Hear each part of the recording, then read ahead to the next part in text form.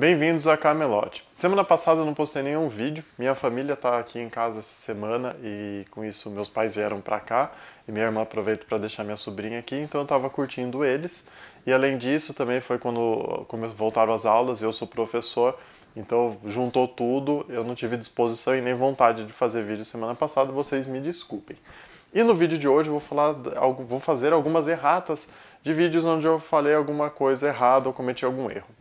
Para começar, eu vou falar do vídeo de Dungeons and Dragons, a estratégia, onde eu falo que você, é, você anda com os personagens, você não explora, você passa, espera passar a rodada até voltar na, na rodada do guerreiro ou da ranger para você explorar. Só que eu não sabia dessa regra, eu li na, na, no livro de regras, porém não estava na, na, na sessão da fase de exploração, estava assim na fase de vilão, onde explica se você não tiver explorado na sua próxima fase de vilão, você é obrigado a, a comprar uma carta de encontro, o que deixa o jogo muito mais equilibrado, senão ele estava ficando muito mais fácil, fica muito melhor jogar com essa regra. Então, os próximos gameplays eu também vou refazer o vídeo de estratégia, porque muda tudo com essa regra.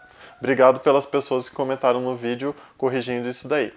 O próximo vídeo foi no, no vídeo de combos das cartas de Eternal Masters no combo do Dragão Engole Mundos, falo para usar Artista de Sangue, porém a habilidade de Artistas de Sangue requer que uma criatura morra para que o jogador alvo perca um de vida e você ganhe um de vida. Só que a habilidade do Dragão Engole Mundos faz com que a criatura seja removida, exilada. O Keldon Marauders, a habilidade é quando ele entra no campo de batalha. Então, aí tudo bem, a, o combo funciona. Mas o Artista de Sangue, nenhuma criatura está morrendo para ativar a habilidade dele. Então o combo não funciona.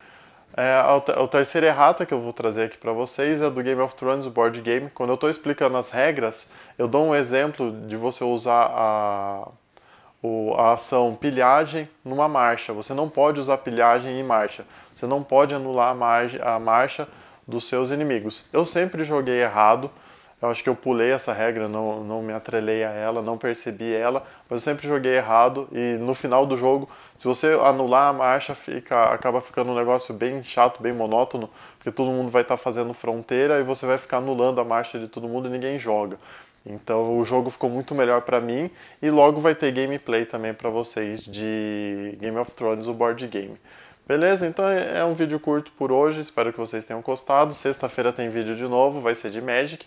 Então, até a próxima. Valeu! on second thoughts, let's not go to Camelot. It is a silly place. Right. right.